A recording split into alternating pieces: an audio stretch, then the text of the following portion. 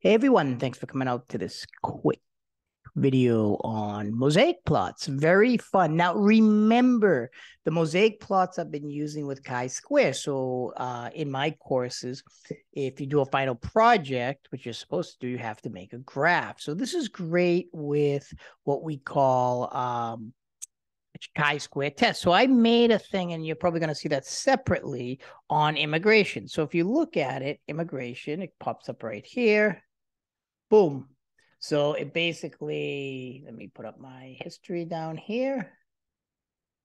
You basically get, you know, Trump supporters, immigration. This is support for immigration. Trump supporters, 32. Uh, no, 68. Biden supporters, 84 years, 16. No.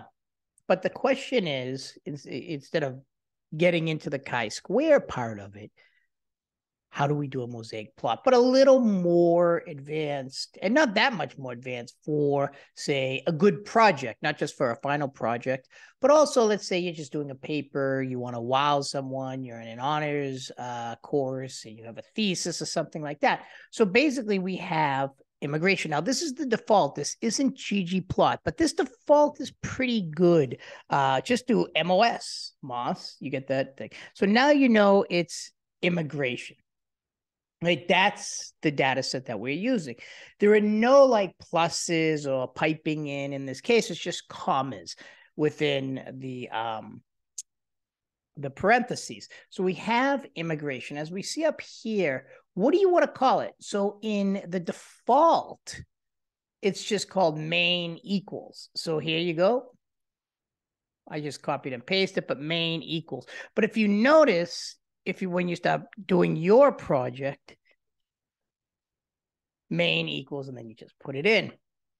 And what's pretty cool too is you look at it and you see Trump supporters, Biden supporters. So that's the y axis. So what it's called is Y lab, right? Equals, let's just say, uh, uh, let's say support Trumpers and what Bideners. I don't know what you would call someone who likes Joe Biden. I don't know if many people do like Trump or Biden anymore. Let's correct that right there. Boom. Now you've got the X lab across. So this should be yes or no. Let's make sure I got this right. So no, it's saying X. So let me do this. Oops. It depends on how it goes. It's saying X. You, you have to do it a few times, right? So Y lab. What did I put over here?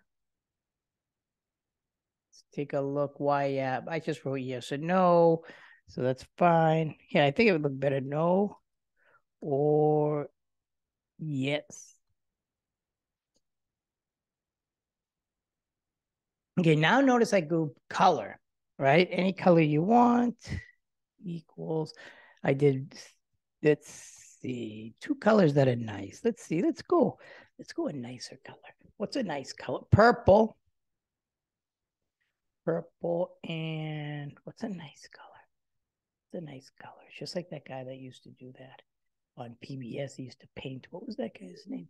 All right, Mr. Rogers. So you've got purple and what's a nice color? Make this color the cloud. A nice cloud color. Okay, we'll do pink. And there you have it, a pretty nice graph with very minimal code. Take a look. Mosaic plot, that's it. Notice there's no pluses or nothing. Remember, this is default. There's no pluses, there's no piping in. So immigration, main equals support for immigration. It comes up here. And you can change the font. I don't know if it's necessary. It Looks fine to me. Comma, outside, XLab, support. Okay, I see why it did because it came up here. I, I, thought it looked like this, but it actually doesn't. It goes up here. Support for Trumpers and Bideners. And then uh, Y going down, as you remember, the Y axis, no yes, so no yes. Uh, so pretty nice plot. And that's really it. And for the our final project or any project you do, you can do that. And even if you have more, say, Trump supporters, Biden supporters, Green supporters, which I'll do you can just do, you know, it'll just look with that, you know, Trump supporters, Biden, and then Green supporters, and it'll be the same. But that's a pretty just nice looking graph for a final project, uh, just to illustrate something uh, on any subject that you could use chi-square. And we also could use the mosaic plot for other things, which, um, you know, if you do a GLM, you could actually use a, a um, chi-square for that. Uh, I'm sorry, a mosaic plot for that. So that's one way to uh, create. I'm going to do a series of these different uh, plots, but the other plots will be done with ggplot and plotly. Take care, everyone.